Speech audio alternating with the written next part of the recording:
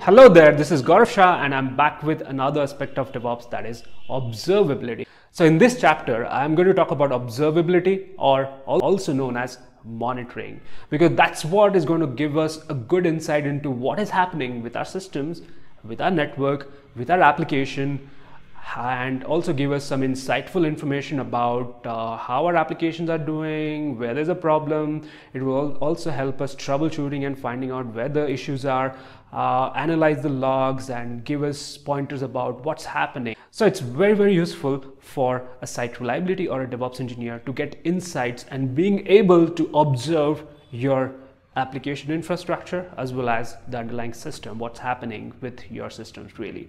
So here are the aspects of observability that I'm going to talk about in this chapter. Let's have a look at that. I'm going to begin by talking about why observability is important and talk about what to observe and three types of systems that you can set up which could provide you with observability.